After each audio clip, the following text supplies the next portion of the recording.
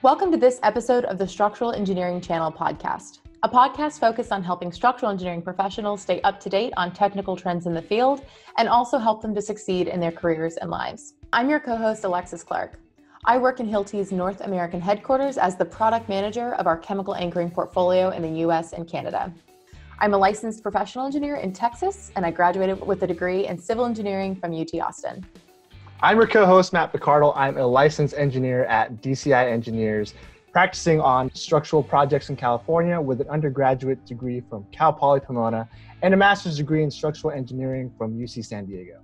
Before we introduce our guest, we'd like to let you know that the Engineering Management Institute recently launched another podcast, the Geotechnical Engineering Podcast, which can be found at geotechnicalengineeringpodcast.com. This podcast will be focused on helping geotechnical engineers stay up to date with the latest technical trends in the field. The host is award winning geotechnical leader Jared Green, a licensed professional engineer who's been practicing as a geotechnical engineer for 20 years. You can find all of the episodes on Apple Podcast or wherever you listen to your podcast. And you can request guest topics and ideas at geotechnicalengineeringpodcast.com. In this episode, we talk to Antonio Zaldivar de Alba, a teacher and research assistant at the University of Illinois Urbana-Champaign. He'll be talking about wind engineering and provide our listeners with three great benefits that they can get by joining ASCE's Structural Engineering Institute, or SEI. He believes that we, structural engineering professionals, should seek innovative solutions to make infrastructure safer and more resilient. Now, let's jump into our conversation with Antonio.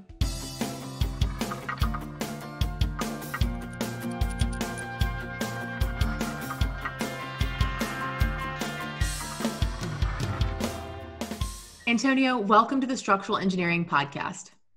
Thank you so much for having me. So, I understand that you are a teacher and a research assistant at the University of Illinois Urbana Champaign. What subjects are you teaching there, and what is it that you research? Yeah, so my teaching assistant responsibilities actually are mainly grading and holding office hours. I do teach sometimes when the professor is not available. Uh, he either travels for conference or has meetings that's when I eh, step up and teach. Eh, I have been eh, a research, a teaching assistant, sorry, for Steel Structures 1. That is basically an undergrad course uh, where the students learn the basics of structural design of steel members. Basically, we teach them how to design members, uh, steel members for te- by tension, flexure, compress- compression, and then we end with a combination of, uh, of loading, basically compression and flexure or tension and flexure. And that's what we cover in the Steel Structures 1. Also, I had experience uh, being teaching assistant of wind engineering, that it's uh, basically my area of research. And this course was actually developed by my advisor, Professor Frank Lombardo, at the University of Illinois. And this is mainly an introduction of the basics of wind engineering. Um, additionally to that, uh, this last spring, I was the teaching assistant for the structural engineering seminar series at the University of Illinois at Urbana-Champaign. And this course, uh, we just invite distinguished uh, structural engineering speakers uh, from both the academia and the industry to come to, over to the University of Illinois and give a talk to our student body. And basically, my main responsibilities in this course is just uh, making announcements and making everything that, uh, making sure that everything runs smoothly, and making sure the presentation is set when the speaker is, uh, and the speaker has water, and basically not teaching responsibilities. And regarding my research um, assistant job, uh, I've been working with Professor uh, Frank Lombardo for now, I think, three and a half years. Um, and I have been involved in, in, several research projects. But now what I'm working on is uh, actually on the development of novel wind engineering instruments to capture information from extreme wind events. And actually this project uh, was recently funded by NIST as part of the Disaster Resilience Grant. So yeah, this is uh, basically overall what my teaching assistants and research assistant responsibilities involved in, at the University of Illinois. Awesome. Could you go into uh, wind engineering? So as you know, for me working in engineering, I kind of see like the research uh, or the effects of your research, you know, like the wind loads. But could you go into wind engineering, I guess, 101 for people that aren't too uh, familiar, particularly in wind engineering and how all those things come into play? For sure, for sure. Actually, yeah, wind engineering will always have kind of the trouble of being related with with only wind energy. Obviously, that's not true for structural engineers because you deal with the ASCE 7 uh, wind load, so you know that at least wind also load, load structures. But really, wind engineering, kind of the dictionary definition, it's a discipline concerned with the effects of the wind uh, on the natural and built environment. So both the natural and built. And as you can guess from this definition, it's a truly diverse uh, subject that requires knowledge in many different fields or disciplines. And just to give you an example, for my research, I uh, need to know a little bit about fluid mechanics, statistics, meteorology, uh, signal processing, and obviously structural engineering. Uh, but uh, we also deal, like especially with um, loads in buildings, uh, and there are even within that um, specifically of load, uh, buildings loads for wind, there are specific areas of research, such as bridge loading, that is completely different uh, how you manage a bridge, how you design a bridge for wind, than how you design a low-rise building, for example, where you the load is more static, right? And also when you have a high-rise buildings where you have issues of vortex shedding and some type of vortex that can generate, and the the usually the natural frequency of the high-rise buildings uh, stay more or less in within the bounds that can be really affected by wind. So usually the taller you go, the more important wind is for your structure. So um, again, we deal with uh, many different things. Another research area in the wind engineering field, it's uh, obviously wind energy, but also we deal with pedestrian comfort for urban areas, uh, some pollutant dispersion, obviously wind lo loading of buildings, and yeah, so it's extremely diverse uh, field. I just want like uh, kind of to highlight that that there are many different fields within the wind engineering field. Um, so yeah. Sounds really diverse, but can you tell me where where is it that is really your area of focus, or what is what yeah. brought you to be so passionate about wind engineering? So actually, I became passionate about wind engineering thanks to Professor Frank Lombardo. That it's a, he's a assistant professor at the University of Illinois. I started doing research with, with him on thunderstorm loading. So I mainly research my main research is on how thunderstorm winds affect differently structures, um, because they have different characteristics as the normal wind that we design for. And yeah, that's what how I became passionate about wind engineering. I started like to look at the loads in low-rise buildings uh, using real actual data, and you can see the random nature not only of the wind but also the pressures. And you deal with the statistics, extreme value analysis, and many other tools that you need in order to kind of do this research right. Um, yes. So I, find that really interesting because I've also, I guess, I, mean, I grew up in Texas and um, I'm from mainland in like internal Texas, central Texas, and uh, I've never really been concerned about hurricane winds by any means, but I have I've seen my fair share of a good Midwestern thunderstorm, um, and I've always I, I, grew up kind of curious about how that affected buildings. Um, you know, is there something from your past that got you interested specifically in thunderstorms, thunderstorm winds? Uh, actually, no, not really. Uh, uh, I was just mainly doing my master's degree at the University of Illinois. I was planning on doing a just a professional master's that is only course, coursework. And then in, at University of Illinois, you have the opportunity to do independent research as part of your coursework.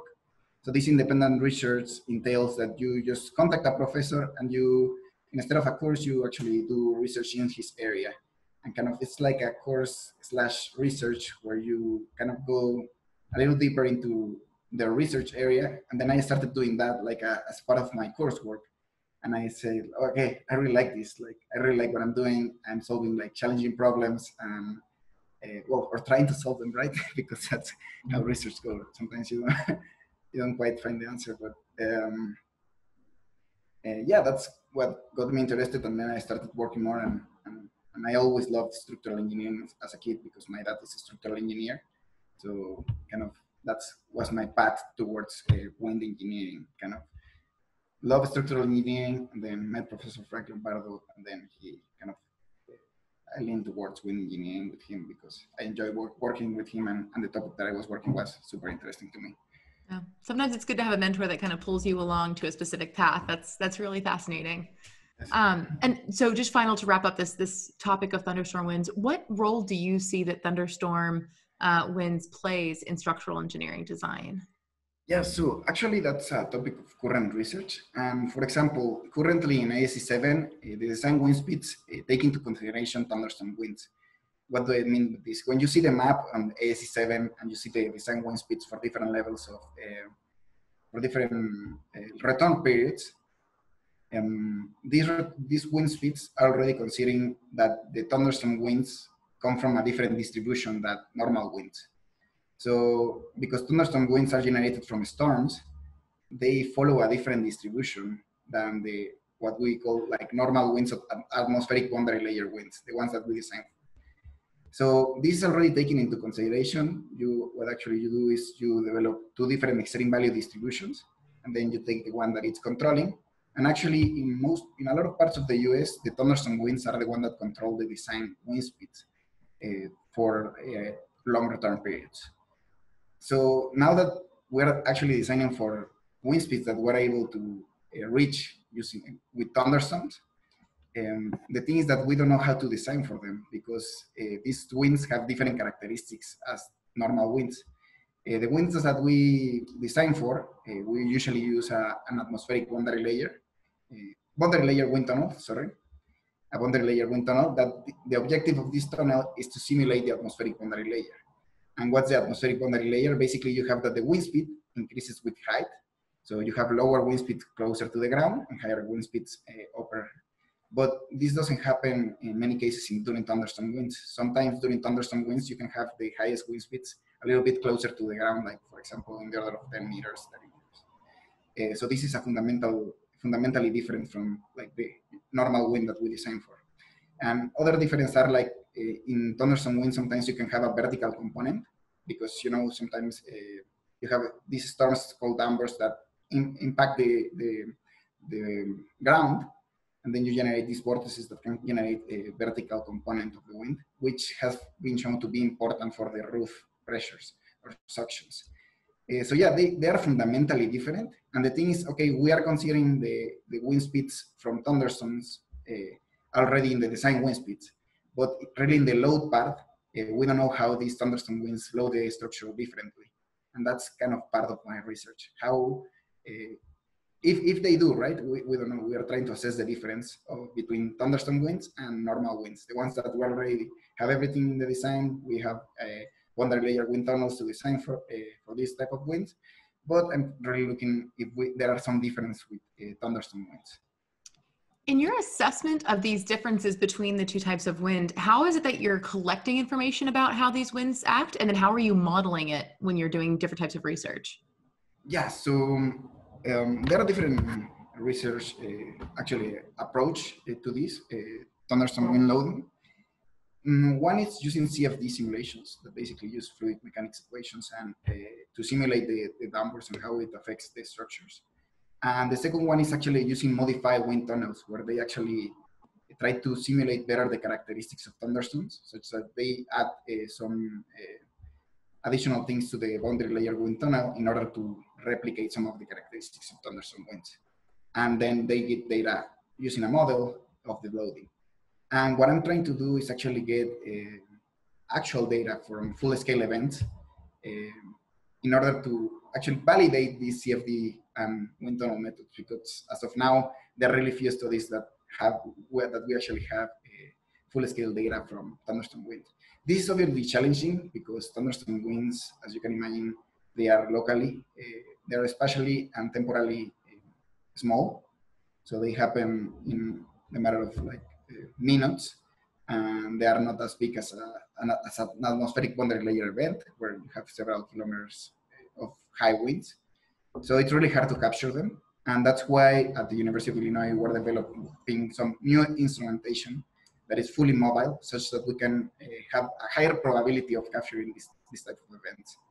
Um, yeah, so my, my approach is basically getting full scale data of loading and wind characteristics for these events, such that we can actually validate what we're doing with CFD and wind tunnels probably not solving everything, but kind of uh, have a benchmark test or something like that, kind of provide that uh, data set that people can relate to when they want to validate their, their models. Okay, so it looks like, so with so in wind tunnels and the, the way that we usually design per code, that usually just takes into account like high winds, but thunderstorms, they basically behave differently, right? And, Right. and so that's, it looks like that's what you're kind of trying to figure out. How do these thunderstorms behave? How do they affect the loading?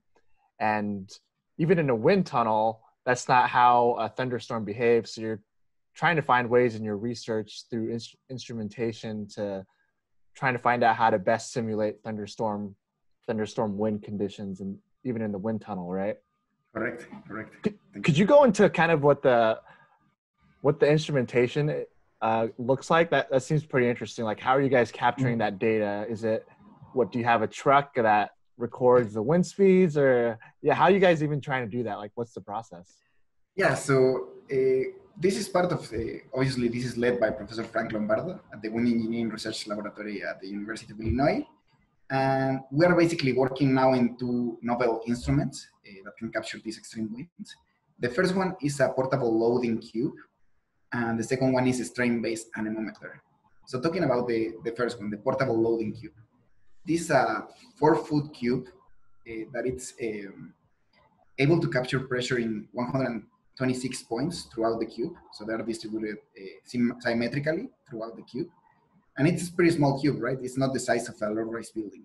Uh, it's uh, but the objective of this cube is to be fully mobile. Actually, you can put it in a truck and just ride with it. And it runs on batteries, so you can deploy it and then mm, it runs by itself. You don't need to connect it to power. And um, yeah, it's uh, fast, also really fast to deploy. Like we can deploy it in less than 30 minutes. And this is uh, in order to be able to put it in the spot where we think that the likelihood of the wind of high winds is higher, or actually thunderstorm wind is higher. So we need to deploy fast, um, and it has to be, again fully mobile because you don't have it runs in, in batteries. And actually now we're just finishing an article uh, that we plan to submit to the Journal of Wind Engineering and Industrial Aerodynamics, uh, where we prove the validity of this uh, portable loading cube, meaning that uh, okay, it's a four-foot uh, cube, right? But what we're what we're proving here is that this bluff body, that it's small cube, actually behaves as a larger full-scale low-rise, building, kind of in the order of uh, uh, three meters uh, to 18.3 meters. Sorry for the SI units there. My- So yeah, so 10 feet to 50 feet. yeah. yeah. There we go. Yeah. um, yeah, so that we're, we're trying to prove that like, this actually, although it's not this, uh, the same height, it can behave as a full scale. So therefore we can uh, get valuable data using this cube. And that's the first part of the, this instrumentation. So Also- for sorry for Sorry. that one, um, you're saying mobile. So does that mean you take that modeling that that cube model and go into a thunderstorm? Yeah, So you're like Yeah. a storm chaser, like Twister, Eh, that movie, kind of. chasing thunderstorms. yeah. yeah, we try to capture thunderstorms. Obviously, uh, we have a, um, uh, the professor has a lot of experience. Uh, he used to chase tornadoes. Uh, Yeah, yeah, his, seems for cool. his research. So, and we also have, a, obviously within the safety of, of research, right? We're not chasing tornadoes for this research, we're just chasing thunderstorms. Uh, uh, because we try to capture uh, high winds and also uh, we try to be fast deployable and also the cube has uh, some hours, like five hours of, uh, of data collection. So it's not that we're putting the cube and next 40 minutes the high winds are gonna come. We have some uh, leeway to work uh, to work such that uh, everybody's in, perfectly safe and, and nothing happens, right? And we also have a now in, in part, as part of the research team we have a um, Zach uh, Weinhoff uh, from he did his uh, master's in uh, atmospheric sciences and he now switched to master in structural engineering. He finished his uh, atmospheric science uh, masters and now he he switched gears to structural engineering and he knows way too much about storms. So he's kind of the lead that, that tells us where to go and, and where, what is the best spot to be in. Yeah, but indeed, we're trying to capture these events. We, we need to, to be close to them. So, Very interesting. I think Um, I, I'd take the thunderstorm over the tornado any day. yeah, and sorry, and the second part of the instrumentation is just a strain-based anemometer. Uh, actually, this is being developed by other of my colleagues. Uh, his name is Justin Neville, and this is just a perforated sphere in a, uh, that it's sitting on a steel rod. Basically, the perforated sphere serves as the drag element, basically what it's receiving the wind force, and then the steel rod is the one that measures uh, serves as the sensing element that is measuring the strain. And then by doing just a back calculation, uh, you can relate the, the force in the rod to the to the wind speed. And but his his this is completely developed by, by him and Professor Lombardo. So so I don't know much about that. that uh, but I, I know the basics. And that's enough to be dangerous, right? Yeah. That is very interesting, and I love that you mentioned that you you you know you depend on these other colleagues. Um, I imagine they're in like a meteorology department. Uh, actually, yeah, Zach is was in the meteorology. He was actually doing a PhD in meteorology, but he switched gears to structural engineering uh, when he met also Professor Frank Lombardo. So I think he's enjoying a lot of the group, and he he has a lot of experience in atmospheric sciences. But he's doing now in a master's in structural engineering and yeah, we have a lot of different expertise in, within the group. We are uh, now uh, six uh, six uh, people in the group. So we have uh, more people to, leaning towards the wind speed estimation. Some, some of us more leaning towards the loading structures, like me. Uh, but yeah, we have we have a really nice group there at the University of Illinois, and, and really a lot of, as you can see, because to deploy these instruments, you need a group of people that's able to go and actually deploy. So collaboration within the group is, is amazing. You need to have a really good group uh, of, researchers, um, and actually they become friends, friends, or really good friends of mine. So That's awesome. That's it's, very it's interesting. Well, and it's so it's so great. I think there's a lot of structural engineers who maybe feel like they're in a structural engineering bubble because we don't have the exposure to work with people from different backgrounds um, academically. And so I think it's really cool that you get the opportunity to work with an atm- atmospheric scientist and someone who has a background in meteorology. Um, I, that's that's really unique, and I think that's that's one of the benefits of maybe going back into an academic setting for for those who are considering doing so. I think that's one of one of the clear benefits is having that um, that breadth of exposure to so many different backgrounds that helps you be a better engineer and a better researcher because you you get that exposure. And you understand some of the issues that they deal with that they may be completely different what you are dealing with so maybe they get some data that it's important for them, that it's not that important for us, and we're not getting some data that is important for them. So it's kind of once you start talking, you realize that we could do a lot of collaboration together and, and get actually data that matters for both of us. And. Any examples of that? Uh, yeah, for example, we're mostly interested in the wind, uh, wind high frequency content, and for some of the fluxes research, they only, we have a professor that is doing some flux research in the University of Illinois. And actually we were planning using his tower, but at the beginning they had the setup of uh, not recording uh, the high frequency content of wind, which are we're like mainly interested on. But they're basic, they were basically recording I think a mean five minutes uh, wind speed. So which is not it's, it's useful for us, but not as useful for our research. So that's kind of when once you start talking, you realize, okay, maybe we can store more data uh, for your research that will be able to help you more in your research and, and that, that type of stuff. It's, it's, it's kind of helpful. Okay. That's something I think a lot of our audience can, can relate to is you're all trying to, uh, you, everybody in the same project has their own objectives and you have to make sure everybody gets what they need out of this, out of the situation. So that's awesome. See, academics isn't so different to practice. yeah, working in teams. I, I think either way, you're going to be working in teams, and yeah, it's everyone has their own goals, but then you guys need each other to um, reach your goals. But being aware of what the other team needs uh, in terms of what their goals are, yeah, I think it's.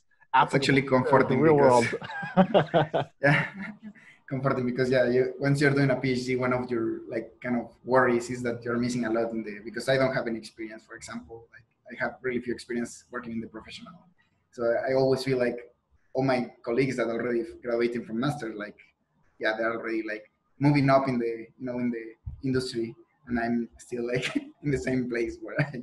But yeah, it's, it's, it's kind of comforting. So thank you. I love it. Okay, wonderful. So, um, Antonio, we're going to do a really quick pivot. Uh, thank you so much for sharing your expertise about wind engineering and thunderstorm winds and all of these crazy instruments that you're getting to work with. Um, I, want to pivot to an article that you wrote for ASCE Structural Engineering Institute, or SEI, um, about why engineering students should join SEI. Uh, from what we understand, there are three main benefits that you believe everyone can enjoy when they join SEI. The first one is free membership and scholarship. Can you explain what this means to our listeners and why is that important? Yeah, thank you so much. Yeah, actually, I wrote that article because I wanted graduate students to realize the great things SEI has to offer. You know, like sometimes in grad school, you just come to coursework and then you just leave, right? Uh, but um, as you can imagine, being a graduate student is a constant struggle for money. So, uh, yeah, it's it's not uh, that easy to get money. So the fact that SEI student membership is for free, I think is a huge deal for graduate students. And, and most of them don't know, don't even know that they, because they're just like, even from undergrad, I, I have had this experience where the ASCE um, chapter charges them some membership, like $10 or $20, just to raise funds uh, for their chapter in, in the under, in their, wherever they went to undergrad. And they, they come to University of Illinois and then they I just think that SEI also costs some money, right, to join. But thanks to the support that we have at the University of Illinois, our graduate student chapter uh, of SEI, we just allow every structural engineering student to join without any, any fees because we have that support from, from the faculty of the structural engineering uh, group. But also, even if you don't want to join uh, the graduate student chapter, SEI membership is for free, which is, I think, huge because you don't have to waste, you don't have to spend any money that you already like kind of don't have it much. And they give you a magazine and obviously all the benefits of being an SEI member. That uh, it's kind of you get a monthly magazine, the Structure magazine, which is has great articles. You can just read and get getting more, starting to get involved with the practice and what actually is happening in, in the structural engineering world. And also you have this discounts in webinar conference and the possibility to apply to scholarships, which is actually I think really important. I just uh, was lucky enough to get and, and honored enough to get the SEI OH AMAN Research Fellowships. That is one of the fellowships that SEI and ASCE give to students. And this was a huge support uh, for me, especially um, now in, in, the end of my PhD. Um, that allows me to concentrate on my research project. And also, it, it's open for every SEI student member. So, and again, scholarships to go to the, the structure conference. So really buy just for free, uh, and really you don't have to pay much, nothing at all, sorry. um, you get all these benefits that really I don't see any reason why not to join and start to be more involved in the structural engineering community as a student. Yeah. Could you go into? Um, I know uh, that's a great point because I know as a student, uh, a lot of students don't know that there's scholarships. It's free money for the most yes. part, and especially if you're doing research or getting more into it. Uh, looking for as much scholarships as you can. That's something that I wish I would have done. It would have saved me a lot of money. I was like, oh man, I could have had a couple thousand dollars here and there if I would just applied. And now being in these uh, membership organizations, all these organizations want to give you money, but sometimes you just don't have enough applicants to give it away. So it's it's a great opportunity uh, to get scholarships. And you mentioned Structures Congress, and I, I think that's your second point in the article. Could you go into what the benefits of students going to the Structures Congress is, or for, or for what you meant by that point? Yeah, definitely. I, I've been to, Structure, to Structures Conference, I think, twice already. And I think it's an amazing experience, eh, especially for students, because first, obviously, you get whatever what everybody gets, right? Great presentations, uh, get like networking opportunities. That just by the fact of going to a structured con- congress you're gonna get. Uh, but specifically for students, I think they they also have uh, a lot of activities that uh, kind of uh, help you get get in, start to, to, get involved in this in the community, such as the event. I don't know if you're familiar with Meet the Leaders event.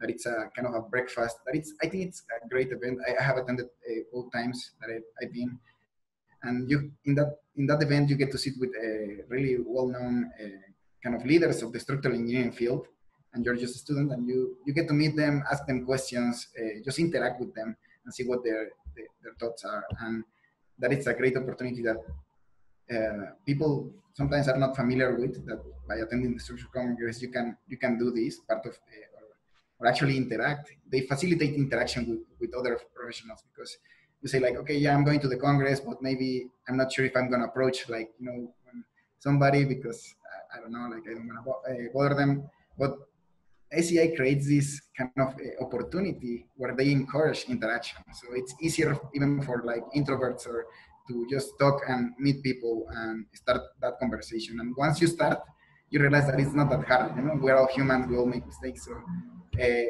and I think ACI that has a great, great part. Another part that they have specific for the students is the career fair. I think it's uh, mostly at the end of the, the Congress, where you, they have several companies uh, that are looking to hire, and then the students can go and just have their resume and talk to the recruits, uh, recruiters. Sorry, um, and obviously that's an, a, an opportunity that you don't never want to miss as an as a student. You know, if you're looking for a job, just go to Structures Congress. Probably you can meet people while in the Congress, and then then go to the career fair and, and, and take advantage of that. And another thing that it's a lot of fun, not specifically towards students, but it's the structural engineering party that it's usually hosted by SEI, which I think it's a great way of meeting people and it's a lot of fun. And it's it's always I don't know these interactions that really uh, we need. Um, we need to grow our network and, and actually, uh, yeah, just uh, find resources and everything. I think just is great, and SEI provides a great kind of setup for this, in my opinion. I- I couldn't agree anymore with you. I'm a huge, I'm like the cheerleader for Structures Congress. I absolutely love it. Um, this upcoming May or March will be my fourth Structures Congress. I, I love the event. And I think you made such a good point in that um, whether you're a, a new structural engineering student, whether you, you want to go into practice or stay in academia, whether you find yourself to be an, ext- an extrovert who is ambitious and wants to meet people and network, or if you're an introvert and you're just there to learn, there's so many different things, so many benefits to going. Um, of course, number one is that there's the opportunity to learn from other engineers and uh, no one goes into engineering and expects that you leave school and knows know everything, right? Like we always we're continuously learning. That's why we have PDHs and continuing education credits. It's because we should always be interested to know what's the newest research, um, what what are the newest trends, what are the best design practices. And I think the other exciting thing is that if you do intend to stay in academia, um, getting your foot in the door by meeting with different researchers at structures congress actually gives you a better leg up if in the future you want to submit an abstract to present yourself which is such a validating uh, accreditation to have to your name to say yeah i presented at structures congress my research um, and it can provide you more opportunities down the way if that's the case i also uh, i think that the amount of opportunities they make specifically for younger engineers are by far and the way better and stronger than any other conference i've been to um, and I also, if, if our listeners are, are tuning in and remember Ann Ellis from a few uh, episodes back, Ann is Ann is like my dream career for an engineer. When I and the I met her at the younger uh, younger members meet the leaders breakfast, and whether or not you want to be them or you just want to learn from them, um, I kind of think of this as like a little mini masterclass for those uh, younger engineers who are interested in meeting the experts. I mean, if anyone's watched a masterclass, you can listen to Bob Iger, who is the CEO of Disney, tell you all about the way he sets up his routine and his career. And you get a one on one personal interaction with the Bob Igers of structural engineering. And I had the opportunity to meet Ann there. And since since that since that meeting, I mean, she's been a champion for me. She's brought me into different committees. She's gotten me um, different opportunities because she saw where my ambitions uh, lied and and she had the the ability and the connections to make it happen so it is so critical that you don't just show up you take part in all of those different opportunities to interact because they are they're really it's a catalyst to getting you to the next level or or getting you to the next opportunity that you you think you want to participate in so i i couldn't agree more wonderful um, the last and third item that you wanted to share with everybody um, that benefit is the Graduate Student Chapters Leadership Council. Um, I have no idea what that is. Can you tell us what what is that benefit and what, what's the benefit of being part of this kind of a council? What is it? Yeah, so actually, this is for me extremely important point. Uh, actually, it's the, for me, it's the most important point actually, uh, because first of all, to get the to get to be part of the graduate student chapter leadership council, you first have to be part of a graduate student chapter. So SEI now has, uh, we currently have 18 universities that have SEI graduate student chapters in the US. So University of Illinois is one of them. Uh, at Urbana-Champaign and actually at Chicago, they also have a, a chapter, and Notre Dame and several other universities. And first, the opportunity of being in a graduate student chapter gets, uh, it's obviously uh, dealing with uh, people and having the opportunity to have uh, leadership roles within the, your chapter, your small chapter, you know, and, and actually impact the graduate student community in your school. We organize events for students, such as social events and um, academic events, professional events, where we bring professionals to talk to the students, and actually more geared towards student interests. And yeah, you get the opportunity of organizing events, uh, meeting people, being in leadership roles, kind of lead an organization. Uh, and then this, the second part is that you get the opportunity to be in this uh, graduate student chapter leadership council. That this leadership council is kind of the, the council that involves all the graduate student chapters in SEI. So the 18 universities can uh, um, send a, actually they have a representative within this council and this council has a board the board consists of four, four students from different universities. And what we're trying to do is kind of connect these all graduate student chapters together, such that uh, kind of uh, start interactions with uh, within the graduate student chapters and start collaborations, kind of start to build a network of graduate of SEI graduate student chapters, kind of a, as an overall organization.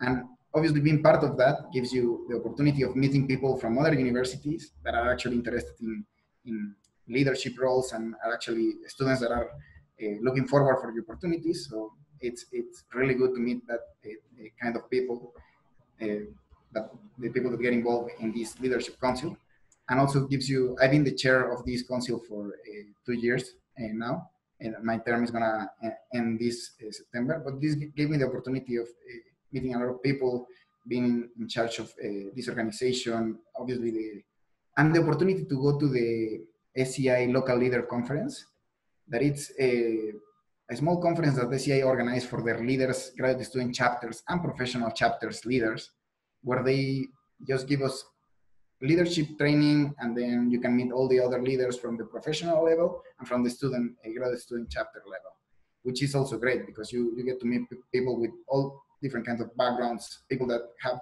learned many things that you are trying to learn uh, or you know that give you advice on where to move or where, where to look. And it, i think it's just great. Uh, is is being involved with the graduate student chapters and the leadership council um, gives you a lot of different tools that that you wouldn't get otherwise like communication skills. You can imagine that me having uh, i'm from mexico so my first language is Spanish, I always had a little bit of trouble speaking English. So after I started to get more involved in the graduate student chapter, interacting with other students, although my English is not perfect, it improved a lot. so and just things like that, you know, it's it's uh, interacting with other students and being able to to meet a lot of people. It's kind of the, the main thing. I think your your English is nothing short of perfect. I think it's been really fantastic, and the ability to communicate really technical um, topics in an eloquent fashion as you have in a second language is incredibly difficult. Um, so I commend you and, and anyone honestly who who is not a native English speaker who comes to the U.S. to to study a really scary topic like thunderstorm implications on structural engineering is is that's that's a level of bravery and courage that I think we all could admire. That's fantastic. Thank you. yeah, and it's great to see that it's you know even in academia your your network and building all these communication skills too it's it's really important. And it's glad to see that it's you know it's still applicable whether you're trying to go into the industry or academia. Uh, antonio i had one last question. Since you know you're going the phd route for people that are considering the phd route do you have any advice or maybe go through what it's like being a phd student? Because that's something i've always wondered too. Um, like kind of what the PhD is like going that route. What's it like? Do you have any uh, advice for people, or can you go more into that? What it's like being a PhD student? Definitely. Actually, that's something that I, as I mentioned before, I struggled with when I was making the decision to go for a PhD route. Uh, basically, I think there are two truly important things uh, for deciding to go for a PhD. You have to really love what you're doing, enjoy research a lot. Because if you don't love it, you are not gonna get through PhD. Like, I mean, I think that's true for a lot of things in life, but you have to enjoy what you're doing. But in PhD, like you're gonna give up if, if you're not really enjoying what you're doing. And also, I think the relationship with your advisor is crucial. If, uh, in my opinion, because your advisor is the one that is guiding you towards like this shady topic that you're just really don't know much and you're starting to explore and your advisor is the one that gives you the guides and if you have a good relationship with him it's it's really good which i have and i think that's essential for a phd uh, then how to weigh down if doing a phd or a master's degree that's that's actually something that i don't know because I, am not sure if I, I, made the right decision but I, am happy where i am uh, but um, I do feel that the PhD work has given me more a more analytical mindset and strategies to solve uh, some difficult problems that I'm sure you can also get in in in, in industry. But I don't know. I, I just feel that um, I have had the opportunity to deal with challenging problems every day. Um, so yeah, I want to share a little personal story with you that made me actually decide to uh, get a PhD. And basically, they were three things that made me decide to pursue a PhD. The first one is what that I uh, really enjoy what I was working on on research, and I really enjoy working with Professor Lombardo, my advisor. And this is really important, as I mentioned before. The second is that I had the opportunity to do a PhD in a really top structural engineering university, such as the University of Illinois. And while doing the PhD has given me the opportunity of doing really advanced courses, for example, in seismic steel design or other topics that are not specifically related to my research, but I am interested on as a, and that I think that can help me when I'm, I'm, I'm again a practicing engineer. And three was actually an advice from my dad, and it's I don't know uh, who is actually a structural engineer himself with a master's degree. And what he told me is just an analogy that it may work for you or not. But uh, if you look, he told me, if you look four years from now, uh, you will have no experience and a PhD, which is probably not as good as having a master's degree with four years of experience. But if you look 14 years from now, you will have a PhD with 10 years of experience instead of a master's degree with 14 years of experience. Uh, the difference on, on experience will not be that great, but you learn what you will learn with your PhD can uh, give you a, a, lot of tools that you can use uh, towards that experience, and also the prestige and the and the, the, the PhD is basically forever. So if you have the opportunity to do it now, he just encouraged me to do it uh, because basically he told me in the long run he's gonna pay off and that was again his view. I don't know if it will help you, uh, and this is my experience. Uh, but uh, I just wanted to share that with you. Um, and yeah, that's what made me decide to go to for the PhD. I think that's a beautiful piece of wisdom, and I think I think we should all be told stuff like uh, an anecdote like that all the time because especially when you're younger, um, when I don't know some, something about the beginning of the cusp of your 20s, you think if you don't start now, you're going to miss something. I don't know if it's a FOMO culture kind of thing. And if I invest my time to do something else, like take a gap year and go travel and, and see things that you want to do before you settle down and start and practice, or getting something like a master's or PhD, what's going to be the difference? Am I going to be two two years for a master? Am I going to be two years behind my my colleagues? Um, and when you put it in perspective of well in 20 years you will have had the additional the additional accolade or the additional um, academic experience and the experience of years it's it almost doesn't matter because the magnitude is so similar um, i think that's a really great mindset to think about these these different ways we want to invest our time is in 10 years in 15 years what's going to be the difference and is the difference enough for you to want to go do this or not so that's that's really helpful i think exactly. I think it was a good mm-hmm. reminder for me, if nothing else. I, I could use that that perspective more often. yeah, yeah PhDs forever, and you know whatever you're investing your time into, it's it's gonna last forever. Like no one can take that away from you once you get it. Exactly, and, and that's not taking anything wrong because I have also really that only do the masters because they don't want to do a PhD, and that's also okay. Not taking, not kind of uh, taking nothing away from them, but uh, yeah, just the fact that if you're really enjoying what you're doing on research and you truly enjoy and truly want to get a PhD because you're enjoying what you're doing and want to learn more, I think taking that perspective of like uh, a long-term perspective is, is helpful when you're feeling like, oh yeah, everybody's getting ahead of me. And I think, yeah, having that long-term term perspective was what helped me decide that, okay, I'm enjoy what I'm doing. I want to do this and it's not going to be that bad, you know? And, and that's, uh, that's what helped me, the advice from my dad. And, yeah. Well, and I I want to I want to spend one more one more little bit kind of diving into this because I feel like there's some conflicting information out there. So I when I first graduated from college, I had an objective. I wanted, you know, I found this fantastic job at Hilti, but I wanted to be living in a German speaking country as soon as possible. And in my mind, if I hadn't gotten there, if I didn't get there by 25 or 26, I was clearly behind in my career path and I wasn't doing things right or I would I wasn't succeeding and, and meeting those different objectives I wanted to. And when you read a book, I don't know if any, if any of our listeners have read this, but Defining Decade um, is a really fantastic read by Meg Jay about the fact that the your 20s are really um, a really intense time of your life in which your brain is i mean your brain is still developing until you're 25 your, your prefrontal cortexes your decision making capabilities. Um, and she talks about um, the, the differences in your 20s and your 30s and those who spend their 20s doing nothing but um, self-serving um, or or I want to say activities that don't necessarily lead to um, professional professional and personal development. Um, who then start those activities when they're in their 30s have lost a decade that often gets you it's the catalyst to getting you to where you want to be when you're 30 and 40 and 50 and everything else um, and so i felt when i didn't reach my first goal at 25 of being of living in germany i thought that i was behind and you know i'm not gonna it's not gonna happen for me until i'm in my 30s at this point I just think it's so interesting because if someone had told me at 23, it's okay to spend seven, eight, ten years developing yourself and, and spending the time to do activities here um, that are going to make the experience so much better when you get there. I would have thought of it completely different. And I think the same is for your PhD. You know, you you found this passion in in wind engineering. And if you hadn't spent the additional four years to get your PhD, would you be enjoying your practice that much more in 10 years in 15 years without that information that you so wanted to go and learn more about?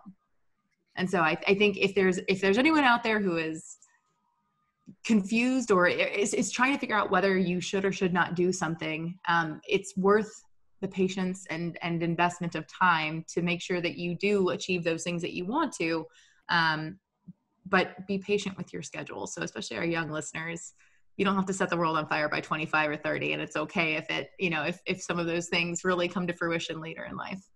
Something i wish i had told my my younger self. And it sounds like you're lucky enough to have a dad who told you that when you needed it. Yes yes. Yeah. Excellent. Well now that i've gone that rant um, just to wrap it up antonio how can our listeners benefit from your research and where is it that they connect with you and yeah, so hopefully they will benefit from my research once it's uh, done and published actually in ASCE 7 um, as a actually load uh, as a wind load to design for against thunderstorms. But as of now, we publish most some of the outcome of our research on our, at our research website and at Twitter. So for our research website, you can just Google wind engineering at UIUC, and it should be the first thing thing that pops up that's the research website. You can also find my contact information there, like my email at illinois.edu. I'm not going to try to spell it because if you go there and you see it, you're going to see why I'm not trying to do that. and also in the tw- in Twitter, we publish a lot of uh, kind of short uh, uh, summaries of what we do. Sometimes when we find interesting stuff in the field, uh, because we also do some damage surveys or interesting stuff in the research, we do publish in, in, in Twitter. That the handle is at WindLab, WindLab in Twitter. So uh, I think you can find it. And you can connect uh, with me through LinkedIn or really send me an email. And I also do have a Twitter account that it's at Zaldivar, my last name, 1991, because it's my uh, year of birth. So uh, that's what I post so, so a lot of uh, my things of the research and wind engineering stuff related. So yeah, to LinkedIn, you can email me. Feel free to mail me if you have any questions or uh, you want to share something. Or yeah, and Thank you so awesome. much again for for having me here. And I really enjoy talking to you guys. Yeah, thanks so much, Antonio. We really appreciate you coming on. Uh, it's always fascinating for me to kind of hear, you know, where our code stuff comes from and how they even come up with the, with all the the things in the code. And you know, for you talking about wind engineering, it's uh, I really appreciated it. I never knew that about thunderstorms, and it's always fascinating to see that there's still so much out there in structural engineering. So thanks so much for that and for giving all the great advice that you you gave to graduate students and people that are looking to become a PhD or go the PhD route. So thanks again. Thank you. No, thanks, thanks to you, Matt. And thanks, Alexis. Thank you so much for having me today. We hope you enjoyed the episode today. We'd love to hear your feedback, comments, and or questions. To leave them, please visit structuralengineeringchannel.com. There you'll find a summary of the key points discussed in today's episode, which is episode number 30. Uh, as well, you can find links to any of the resources, websites, or books mentioned during the episode. And don't forget to subscribe on Apple Podcast or wherever you listen to your podcast. Until next time, we wish you the best in all of your structural engineering endeavors.